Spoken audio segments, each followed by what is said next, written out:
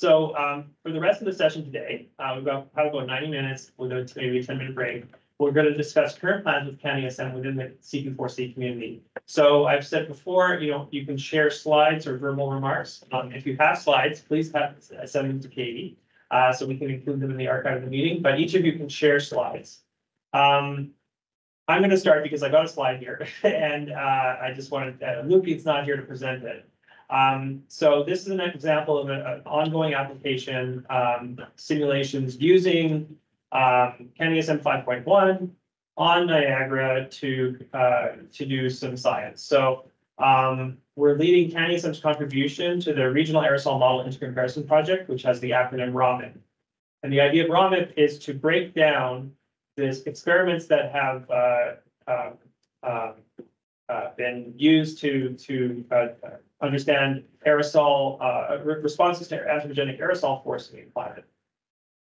So RAMIP, the basic idea is to take the global aerosol emissions, uh, uh, profiles and break them down regionally, basically by continental region. Um, and th- there's been a lot of work in this because Luke is working actually both inside ECCC and outside, uh, on, on, on Niagara. He's kind of bridging both to do this work and get things going. And especially, uh, with the CMORization project that Clint, um, worked hard on. Uh, he, uh, Luke has needed to, to work, uh, closely on that because, uh, RAMIP requires, uh, various customized outputs for, for its, um, for its protocol. So we're now finally actually doing, um. Yes, you're, you're, you're right, Neil, I, I, I take that point. It's more the appearance, the appearance is very nerdy. So it's, it's, it's, I'm, I'm talking about something that really is uh, a little, I shouldn't respond, I, I'll, I'll, I'll ignore that remark. Um, so, so regarding this here, um, I would just say that the, um, the, uh, what, uh, Luke is doing right now is doing production runs and he has some regional runs done or that, that are ongoing, but they're not quite, uh, ready to analyze yet. Um, so, but one of the issues that we face in this project is signal to noise. Um, there's various, we, uh, all the anthropogenic aerosol signals are, are kind of weak. And so he's using a, a, a relatively new method of, of, of filtering, um, uh, which is, uh, has the title Signal to Noise Patterns developed by Rob Wills.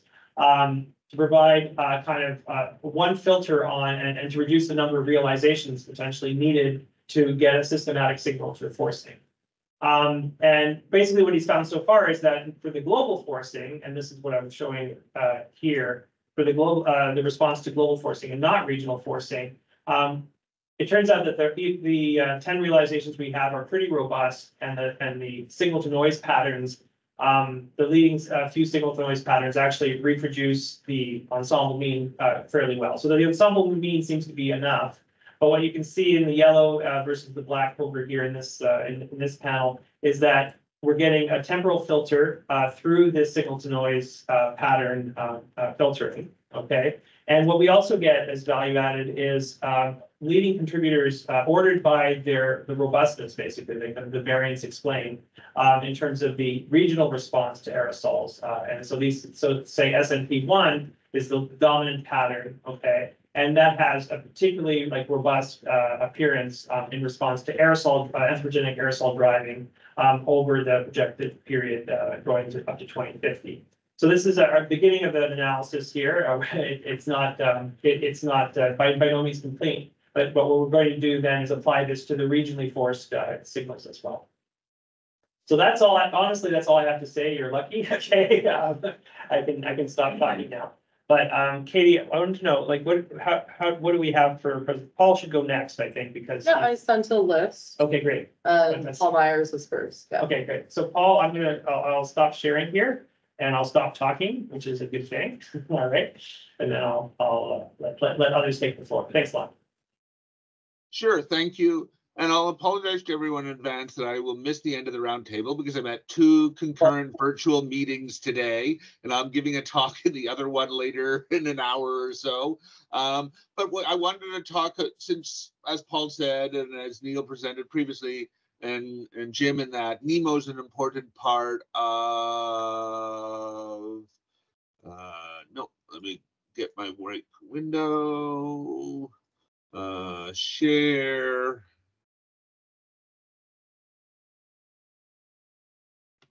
Can people see my colorful fleet slide? No. Can see, um, your team's window. Oh, okay. So you're not seeing just the slide? We're only seeing your team's window. Oh, joy of teams. One love second. Gotta love it, right? I know. And ah, entire screen. That's the button I needed to push. Okay. Um, now, do you see slides? In the background, yeah, there we go. Okay.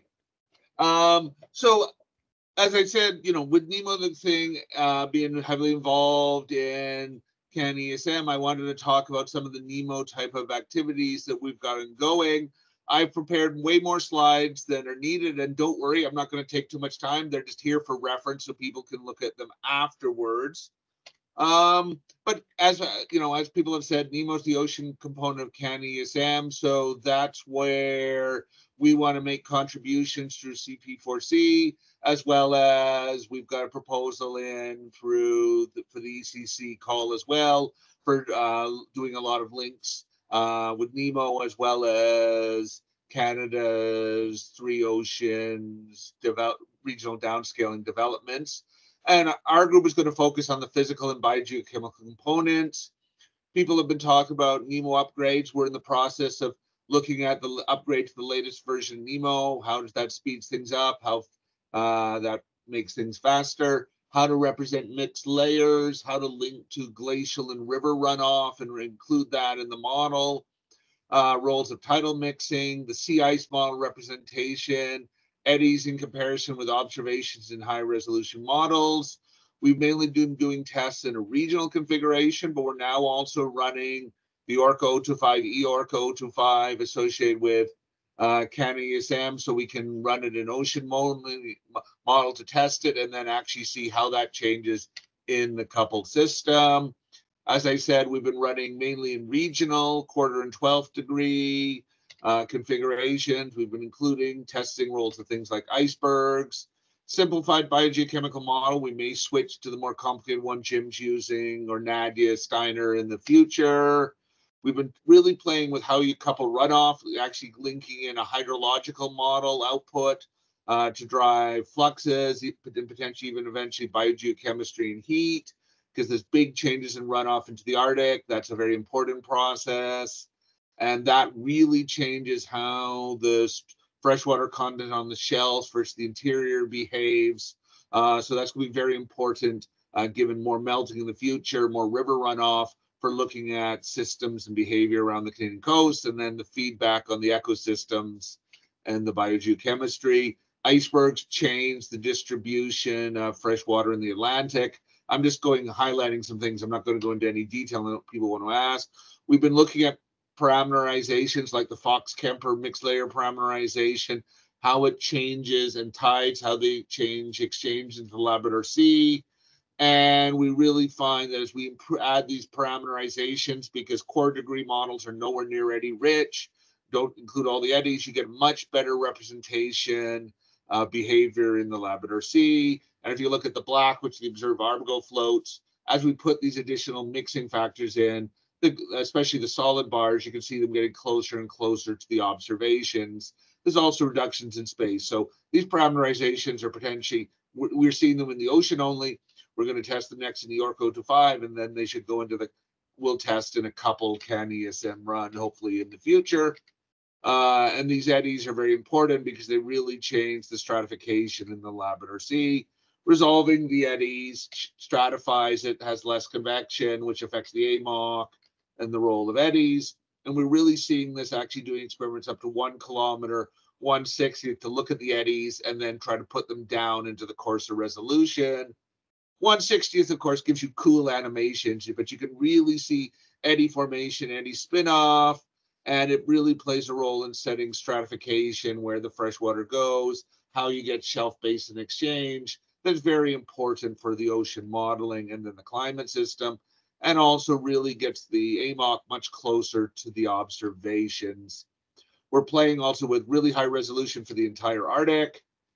Again, gives you some really cool animations with eddies that we're trying to understand processes so we can then see how that relates to some of the uh, coastal downscaling systems and things around Canada. Global, as I said, that's important for because that's what CanESM uses. And global is really important. This may be a complicated figure, but it's looking at the freshwater content of the Beaufort Gyre in the Arctic. And basically, um, regional runs cannot get the freshwater structure right in the Arctic. Global runs can, obviously, with some feedback through Bering Strait and exactly what that is. We're trying to uh, uh, look at. And the final thing, because the new version of NEMO is switching to a multi-category model, SI3, we're looking at single and multi-category models in the global setup. How does that change their structure? How does that change their ice? How does that change then again the structure, the circulation in and around the Canadian Arctic and the East Coast? So I've done a huge number of slides in a very little time. Um, but as I said, this is just what I wanted to throw out because just a summary of things we're working on that are going to be relevant for linking with people, what others are doing in CP4C with ECCC and uh, CanESM. So where's my stop sharing button? Um, I've lost the stop share. Yeah. You're not sharing anymore. you're Oh, okay, sure. I did stop. Okay, that's what I have. Thanks, Paul. So we, we had just beginnings of a discussion about, about, you know, how, about Nemo, working with Nemo. And I, I just think it's, there's so much you can do with that model. And I was thinking a lot about the offline, like offline testing we could do, you know, driving Nemo with that, with boundary conditions from CanESM, but playing, you know, all sorts of games with Nemo. So that, you know, that seems like a real opportunity there. Uh, Yeah. Yeah, so, We so, uh, definitely propose doing some of that and then looking at how that resp- affects the, as the physics, the biogeochemistry, the ice, and then trying to understand then how it can go back into the couple version.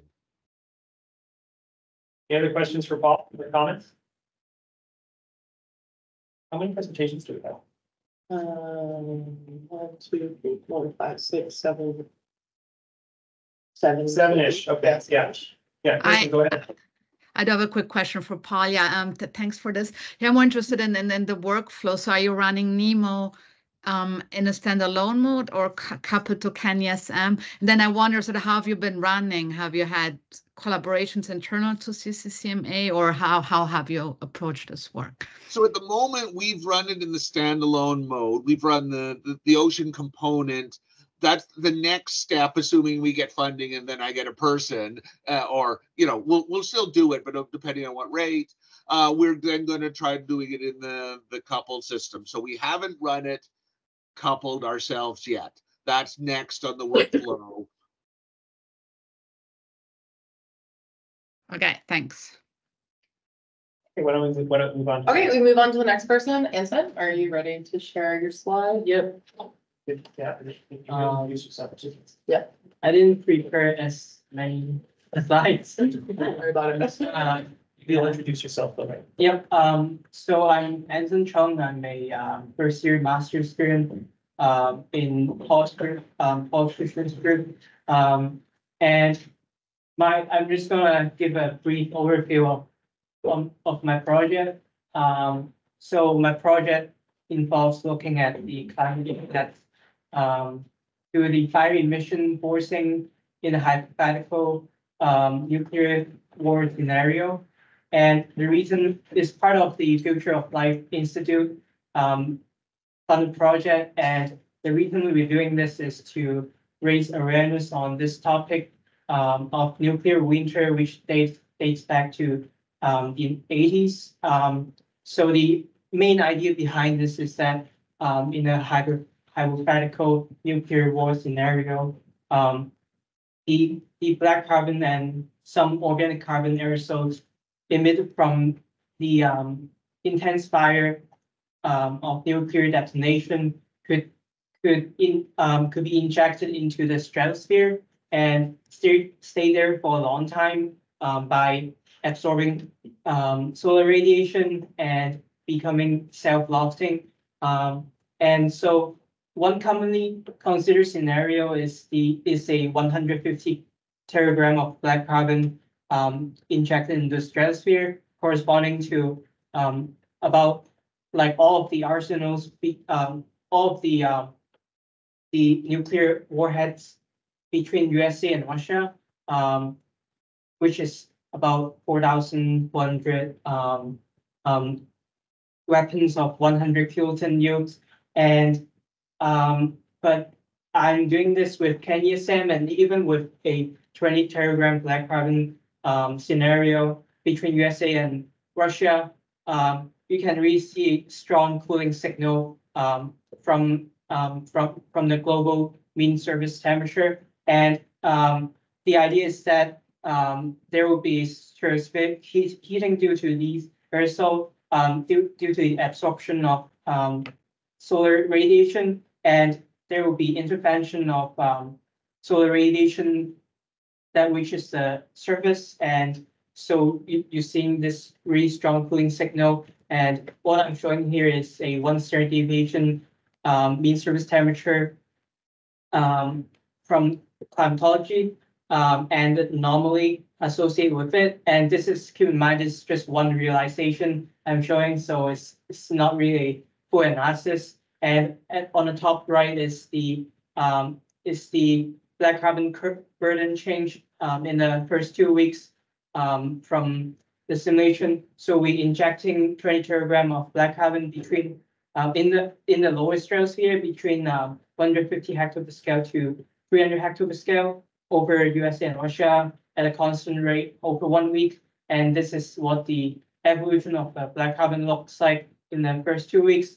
Um, so you see it's being transported by these Rossby waves in the mid latitudes and, um, eventually they, they would, um, also be transported, um, throughout, um, the whole globe, um, by Brewer-Dobson circulation. And, you can also take a look of the, this is the climatology of the Brewer-Dobson circulation, the major circulation in the stratosphere. Um, what I'm showing here is the transform Eulerian mean master, uh, mass stream, function. So red here would be a transport that is, um, and this zonal meaning, um, red here would be a, a transport that is, um, clockwise and blue would be counterclockwise. So in the, um, so the Brewer-Dobson circulation is dom- dominated in the, um, in the winter pole. Um, so in, in, in December, January and February, um, you see a dominant pattern in the, um, in the, um, northern hemisphere. Um, and I also look, I'm also looking at the response, um, of this, um, injection of aerosol, um, in the first winter and second, second, um, northern hemisphere winter. Um, um, so, so in the first winter is still a, um, in transient state, but after that, um, beginning in the second winter and so on, you see a weakening of the Brewer-Dobson circulation and, and a shift in the, in a, a polar shift in the, um, in the winter pole circulation and, um, and we're still looking into why this is happening. Um, and yeah, that's basically what I'm working on with CanESM. Um, any questions? Any questions for Anson?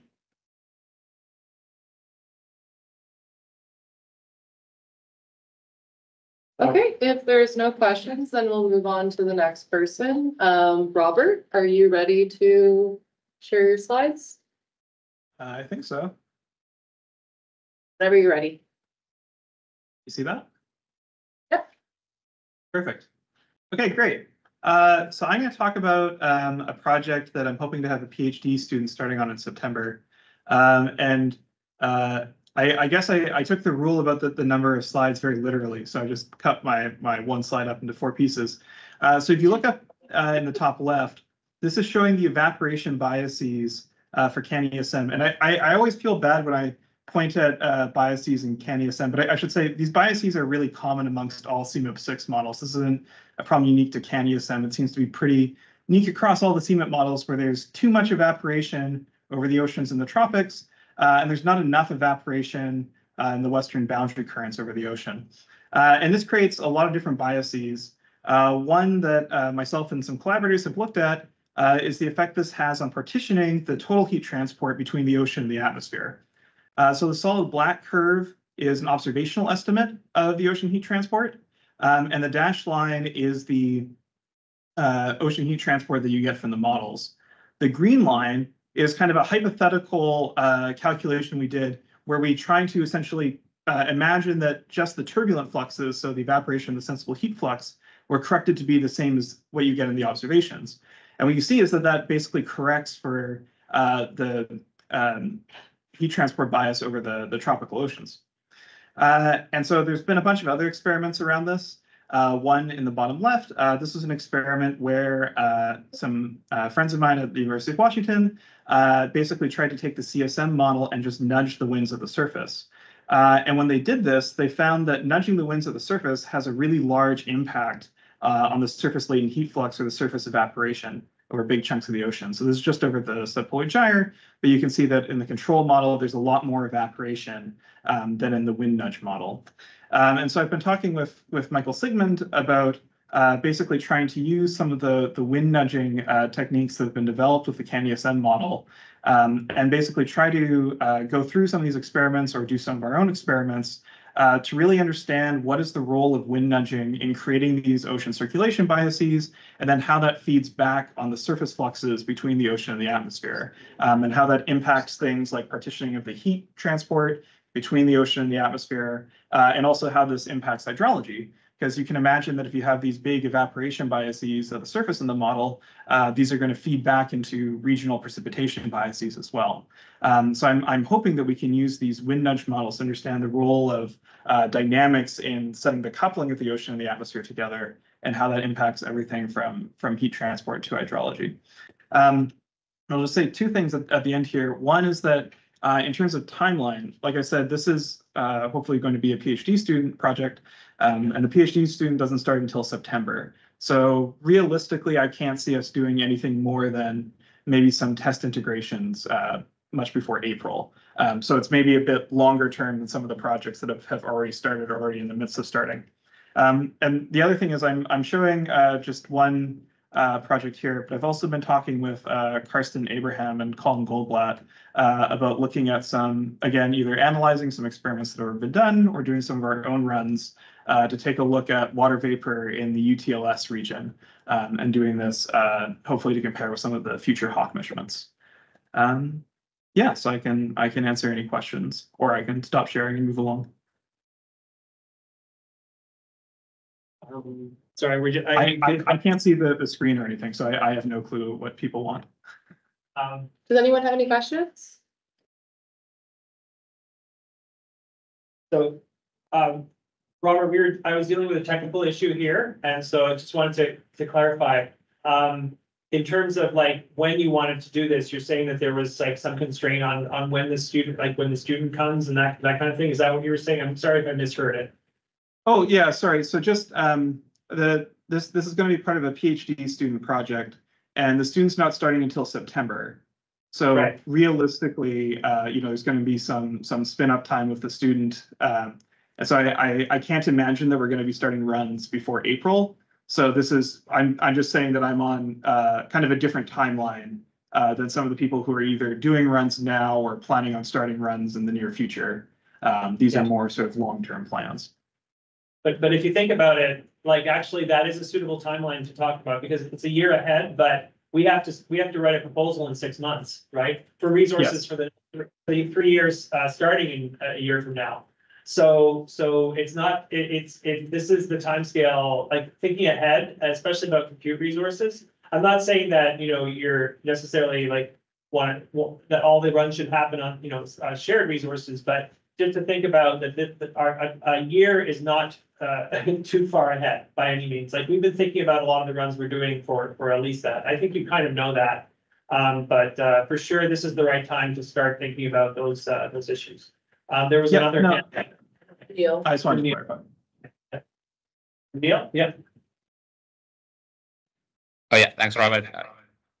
Uh, looks interesting. Just to point out that the, another thing that would be needed is, um, you know, for a, s- a special configure, uh, experiment configuration to be made available, because like, you know, it's, for example, you want to do wind nudging, you have to have all the the files that you're going to nudge the winds towards, but also, um, yeah, all the set of like switches in the model that's going to cause it to do that. So that wouldn't be, you know, in those like six experiments that I showed yesterday, although you might just be running a regular historical experiment, but you're going to have to add a bunch of stuff onto it. So just to point out also like it'd be good to submit to CP4C, hey, this is the functionality that I'm looking for um, well before so that we can kind of like plan on making that available. Um, you know, if we have a, like, if we know about it well before and then there's a date, then we can organize to make that happen. Yeah, yeah, Mike, Michael and I have been talking a bit about it. Uh, I think the functionality we want is already in the model, but uh, I'll definitely let you know as, as we discuss more. Yeah, sorry, it's, it's a, it's a different, it's not a, a question about whether the functionality is in the model, which for sure it is, because we do a nudging all the time. It's a question Yeah. about whether that functionality is available in what's in the CP4C configurations. I see. those things are not necessarily exactly the same. Just because it's possible in the model doesn't mean that it's possible in those CP4C configurations. So yeah, it's just a slight kind of nuance. So yeah, I would just suggest submitting that kind of like kind of feature request, I guess, to CP4C. Okay. Yeah, in fact, yeah. Uh, in fact, that's, that's, a that's a, thanks very much, Neil, for, for mentioning that. So if it's, if you're, if you're, you want to get involved with CP4C and you're having a conversation with somebody inside CCCMA, I think we should make it clear, like Neil, it's- Neil, you're gonna deal with this internally as well, is that that's the kind of thing we should list as part of the CP4C to-do list. It's, it- even if it's, was gonna be handled offline anyway, it it, that actually represents in-kind support that ECCC is providing. Um, we don't have to have anything to do with what the ultimate solution. I'm not saying that, I mean, uh, it's not a control thing, but it's just to point out that this, this stuff is happening. And, and, and to make a note of it. I mean, it's real time that Michael's putting into it, um, you- that you're putting into it, Robert. And so it's just a way of sort of keeping track of all these. Uh, effectively investments in each other's, uh, you know, in, in, in the project. So, that just, a- so, so it's, I know it sounds a bit managerial, but yeah. That's our point. Yeah, just just to add to that, um, you know, I think you know when people, I think we should be clear, and we yeah, we have to make this clearer that will come in that kind of policy guidance. Um, but you know, like so, Environment Canada has kind of representatives on the CP4C steering committee, and there's like a channel for model configurations and information to flow from Environment Canada to CP4C. That's kind of different than the scientific collaboration where you just kind of, um, you know, speak to a scientist and then an expert in the area. And so, you know, I just I caution people just because an individual scientist at CCCMA says, "Hey, we can do this thing in the model," that doesn't like again, I'm kind of repeating myself, but that doesn't mean that it's possible to do it in CP4C. Like those, like we, I think we do need to be clear that there's a there's a difference between those things. So, so even though you've had that conversation with an individual scientist, that's great. That's the starting point. Yes, it's possible in the model. Then there's kind of a step two, which is can we make that functionality available via the CP4C configuration? Maybe it's already available. Great, then we don't have to do any work. But it could be that no, actually something additional needs to be done. Like in this case, I guarantee you, like, yes, we can do that in Environment Canada, but we cannot do it on Niagara today.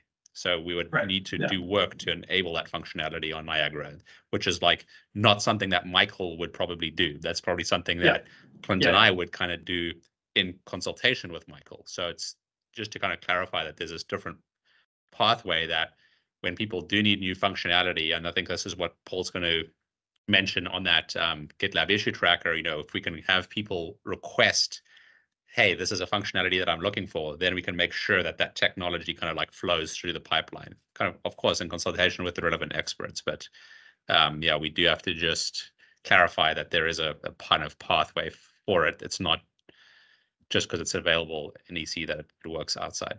Yeah, thanks. And, and not, not to pick on you, Robert, but it's, it, it, it's, it's, it's a great case in point. And just to say, like, it also enhances the transparency and shows everyone how, how you, how to, how to collaborate, right? Like, so if you, you bring in this feature request, you know, you have, there's a scientific, um, motivation, and then there's technical work required to implement it. And so people will, will get a sense then of like what's actually needed and that will, and we won't have to defend, oh, how did that, how come this person got this or that? You know, like it went, it went through a process and we had a process for doing it.